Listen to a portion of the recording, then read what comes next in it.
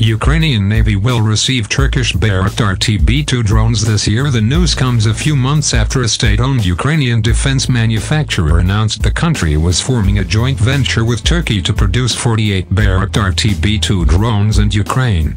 The Ukrainian Navy will receive an unspecified number of Bayraktar Tactical Block 2 TB2 drones with improved characteristics this year. The decision was announced after a meeting between the representatives of Bayraktar Makina, the manufacturer of Bayraktar, and Ukrainian naval officials, including the Navy chief, in the Ukrainian city of Odessa on Tuesday. This year, the Ukrainian Navy will receive a complex of unmanned aerial vehicles with improved capabilities, which will operate in the interests of the Navy both on land and at sea, said Ukrainian Navy Commander Alexei Papa, the country's Navy reported through Facebook.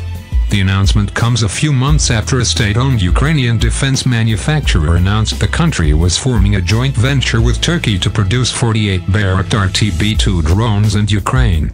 The deal stipulated that Kiev may export the drones to any third country, barring those with which Turkey already has such an arrangement.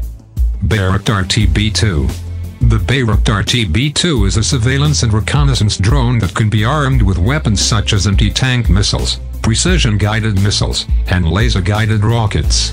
It can fly up to 220 kilometers 136 miles per hour and stay in the air for up to 27 hours.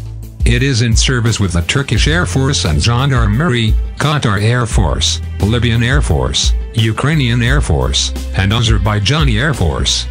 Bayraktar has been acknowledged as playing an important role in the Nagorno-Karabakh conflict between Armenia and Azerbaijan last year, providing Azeri forces with a pivotal advantage in destroying Armenian air defenses.